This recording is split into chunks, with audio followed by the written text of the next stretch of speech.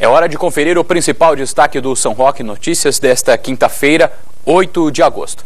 Tradicionalmente, todos os anos nas festas de agosto, que comemoram o aniversário de São Roque e do padroeiro da cidade, a imagem do santo é colocada no altar mais baixo da igreja matriz.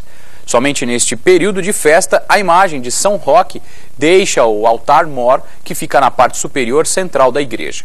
A exposição da imagem para as pessoas vai ficar disponível até o término da festa na cidade, que será no dia 17 de agosto.